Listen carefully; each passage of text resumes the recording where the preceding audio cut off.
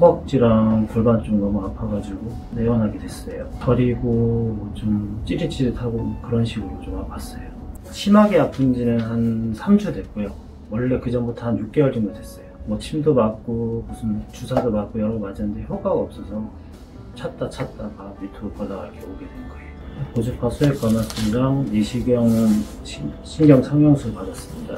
성증이요? 솔직히 처음에 고주파 수액 할 때는 하나도 안 아팠고요. 신경 상영술 할 때는 간간히 기억이 나긴 하는데 아팠던 것도 있고 안 아팠던 것도 있고 좀 기억이 잘 안 나요. 수면 마취랑 네, 환자분의 시술 전 증상이나 이제 설명을 들으신 것처럼 자 이제 환자분의 경우에는 왼쪽 골반하고 이 허벅지 뒤쪽으로 해가지고 통증도 심하시고 저림 증상도 되게 심하셨어요. 이제 이것 때문에 어, 사실 한 3, 4개월 전부터 계속 통증이 있으시다가요.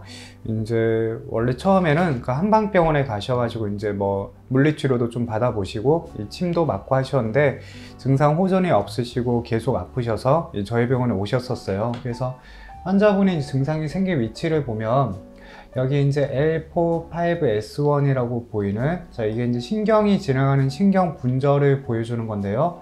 자 이렇게 딱 분절 따라서 내려오는 것처럼 되게 아파하셨어요. 이렇게 그 왼쪽으로 해서 이 엉덩이하고 허벅지하고 어, 허벅지 뒤쪽하고 옆쪽 부위도 이제 아파하셨고 어, 이게 좀 통증이 좀 많이 심하시고 사실 처음에 이제 뵀을 때는 뭐 잘 걷는 거를 똑바로 좀 걷지 못하시고 약간 좀 절뚝거리는 이제 그런 증상을 보이셨습니다. 그래가지고 이제 제가 MRI를 찍은 걸 한번 보니까요, 이 찍어서 가지고 오셨는데 보니까 디스크가 이렇게 터지면서 이제 밀려 나와 있고 그게 이제 뒤쪽에 지나가고 있는 신경을 좀 많이 누르고 자극을 하고 있었어요.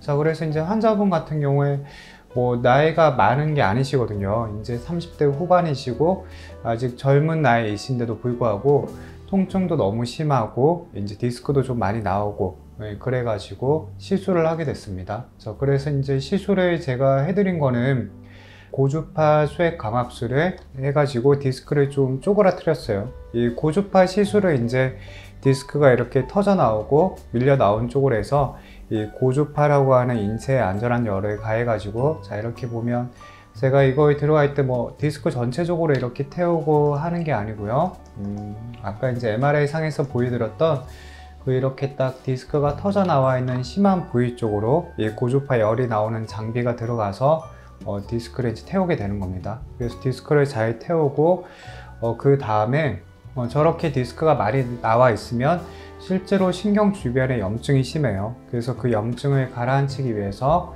이제 꼬리뼈를 통해서 이제 신경 성형술을 시행을 했는데요. 아무래도 환자분은 좀 통증도 심하시고 그리고 이제 디스크가 밀려 나온 것도 심해서 조금 더 안전하게 진행을 하기 위해서 이 내시경을 이용해서 했습니다. 그래서 내시경으로 들어와서 보니까요. 제가 한번 사진을 보여드릴게요.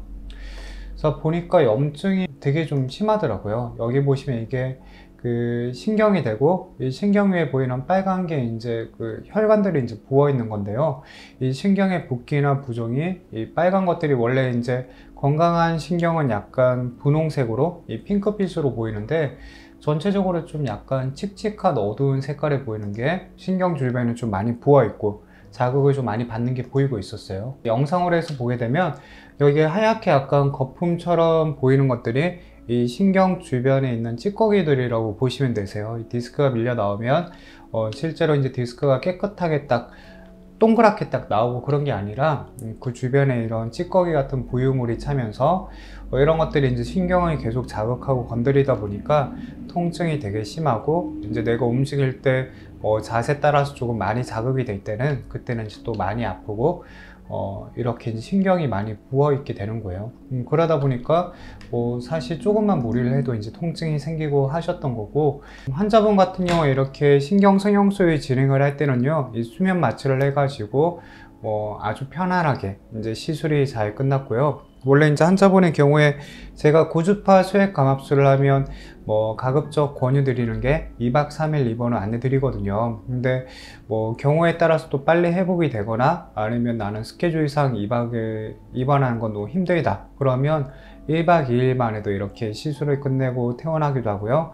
환자분의 경우에도 이제 좀 증상이 많이 호전을 보이셔가지고 이제 1박만 하루만 주무시고 그리고 퇴원하시고 기존에 이제 가지고 있던 증상도 좀 많이 회복된 그런 케이스였습니다. 자, 그래서 오늘 이렇게 설명드린 케이스처럼요. 나이가 젊으셔도 이 통증이 되게 심한 경우에는 지금 보시는 이런 환자분처럼 디스크가 많이 터져 나와 있을 수 있습니다. 그래서 이제 보통 많이 오해들을 하시는 게, 어, 나는 허리는 안 아프고, 이 다리만 저리고, 다리 쪽만 통증이 있어요. 이러면 뭐 골반이나 고관절 쪽에 문제가 있는 거 아닌가요? 이렇게 이제 물어보시는 경우가 되게 많으세요. 물론 뭐 골반이나 고관절에 문제가 있어서 이 다리 쪽으로 저리고 아픈 경우도 있지만 사실 대부분의 경우에는 허리가 문제인 경우가 더 많습니다. 이제 그렇기 때문에 혹시 내가 허리가 아프지 않고 엉덩이나 다리 쪽만 아프다고 하더라도 그게 이제 허리 쪽 문제의 가능성이 있기 때문에 혹시 치료를 해도 낫지 않으시면 꼭 한 번쯤은 MRI를 한번 허리 쪽을 찍어보는 걸 권유를 드리고요.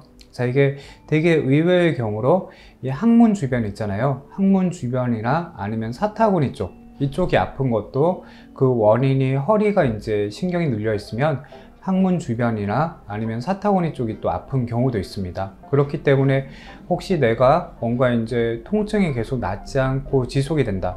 그리고 뭔가 계속 아픈 게 어, 회복이 안 된다. 그러면 이제 그런 경우에 또 허리 쪽을 검사해 보는 게 도움이 될 수 있습니다. 자, 오늘도 시청해 주셔서 감사하고요. 다음번에 또 좋은 영상으로 찾아뵙겠습니다. 감사합니다.